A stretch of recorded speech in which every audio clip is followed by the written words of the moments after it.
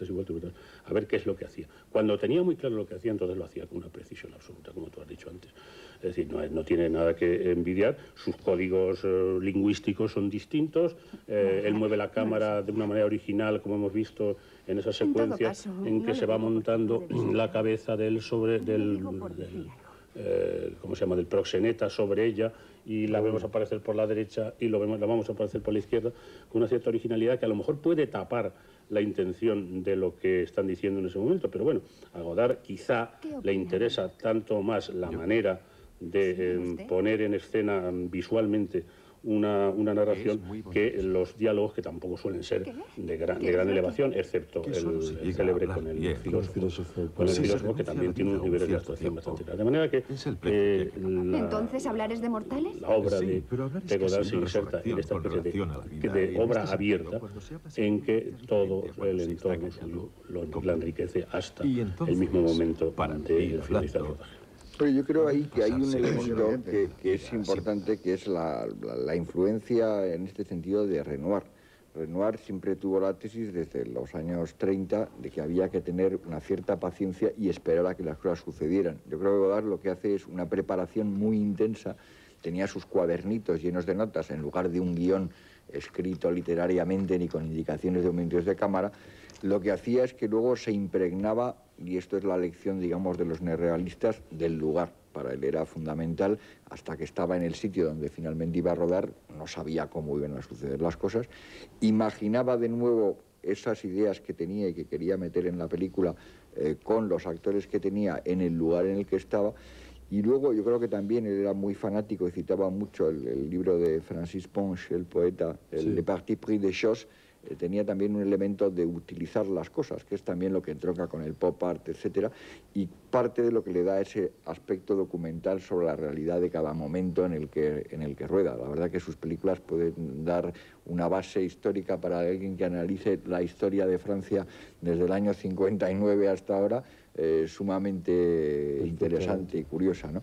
Entonces yo creo que ahí él hacía el mantenerse abierto a, la improvisación, pero no que llegara allí sin ninguna idea y a ver qué nos sale. No, él estaba con unas ideas, yo creo que generalmente muy claras, y había, eh, digamos, una serie de temas eh, que quería tocar. Y yo creo que la estructura esta abierta, que por otra parte también tiene que ver con las Fioretti de San Francisco de Asís de Rossellini, que es una de las películas que a él le gustan más, eh, le permite tratar las cosas de manera muy diferente. como ah, se habrá visto, eh, cada uno de estos episodios es completamente diferente uno de otro, unos son más largos, otros más cortos, unos con mucho diálogo, otros con poco, unos de un carácter más documental, otros son mucho más líricos.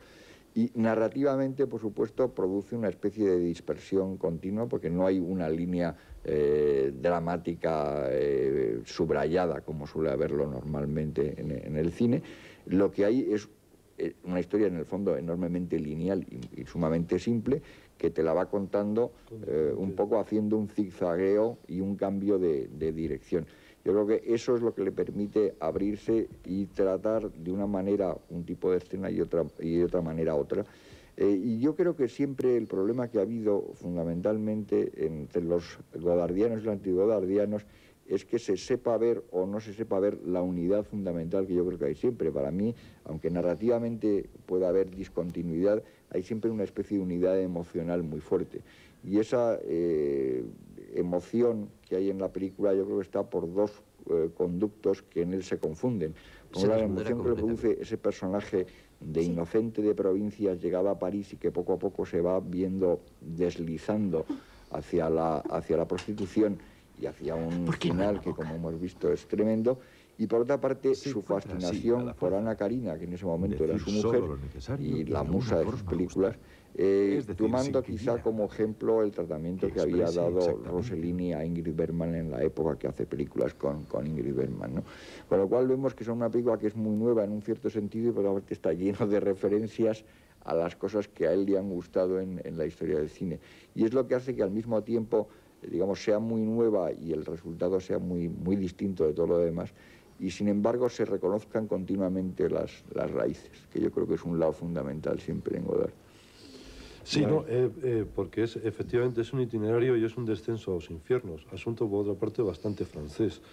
En, el caso de, Nana, el, nombre, el nombre no, es, no es gratuito, puesto que es una referencia clara a Zola y a, las, y a cierto naturalismo, naturalismo francés, pero eh, eh, lo más curioso, lo que tú decías de la linealidad de la película, que podría no parecerlo, pero que lo es, es eh, las premoniciones que van apareciendo en la película ante, ante la, pobre, la pobre Nana, hasta el final de Nana, que va a ser el mismo de Mitchell en la Bout de Sub, prácticamente un tiro y en, y en la calle.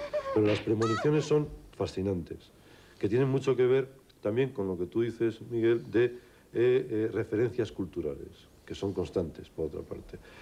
En la película no es tanto, en su momento tuvo bastante discusión porque se planteaba que era una película sobre la prostitución, para nada.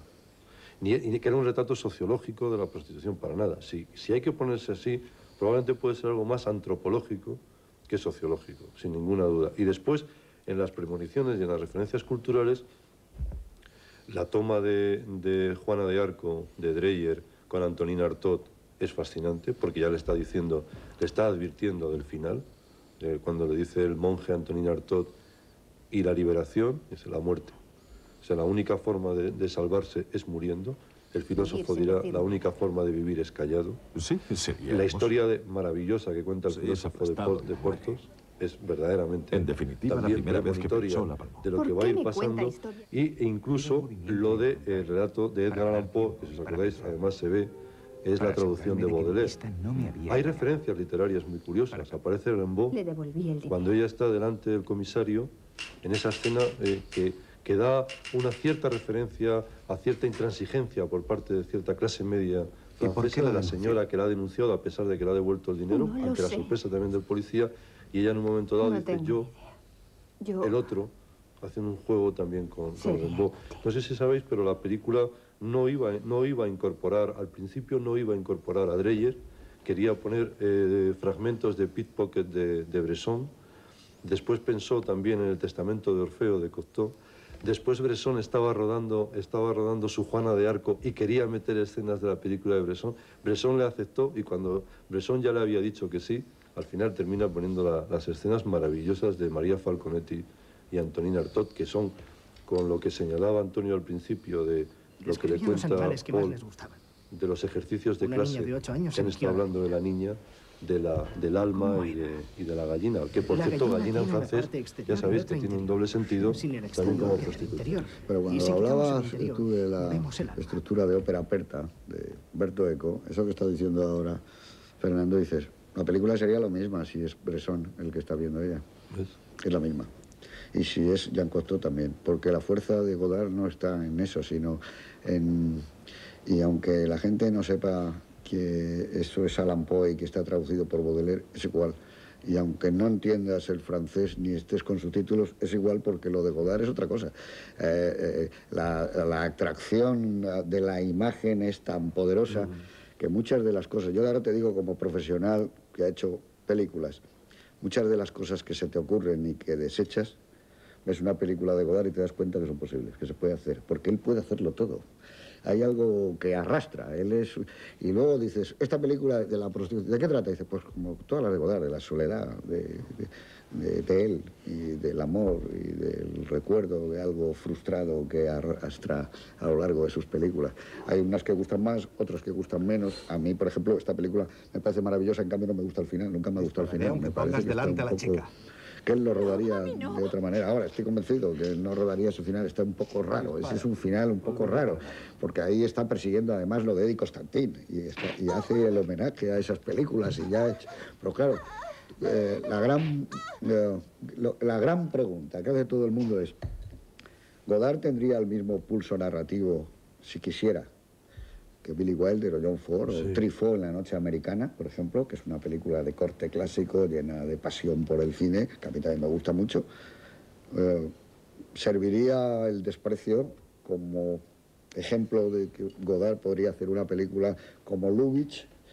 Yo no lo sé, eso nunca lo vamos a saber. Si Godard, eh, porque desde luego, si hay alguien que conozca la historia del cine y la historia de los directores y de sus películas, si hay alguien que sepa de eso, rodar. O sea, poca gente más puede hacer una película, como esas eh, Histoire de Cinema, que yo he tenido la suerte de ver hace muy poco, además para ver esto, donde encadena la sonrisa, como él dice, más maravillosa de la historia del cine, que es la de Liz Taylor, en un lugar en el sol, con los campos de concentración de Mauthausen.